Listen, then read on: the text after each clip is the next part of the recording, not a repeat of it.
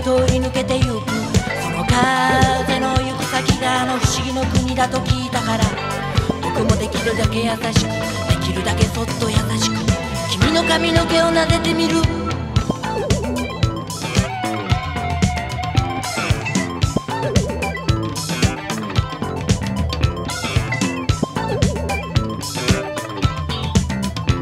君は石鹸の輪の中から生まれ出たアフロディーテだ。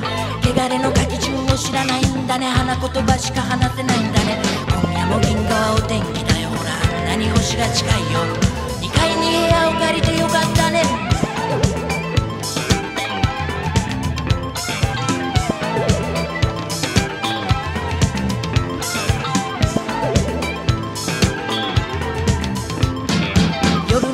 の星島よ僕らの留守に窓から部屋へ忍び込んで僕の日記やギターを勝手にいじっちゃいけないよ。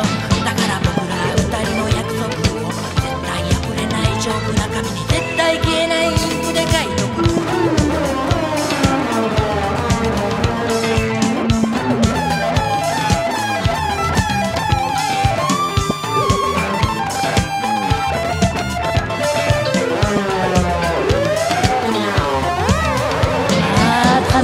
そうそうそうそうそうそうそうそのまま二人で生きてたいこの昭和の日のおしまいを地球の最後のどん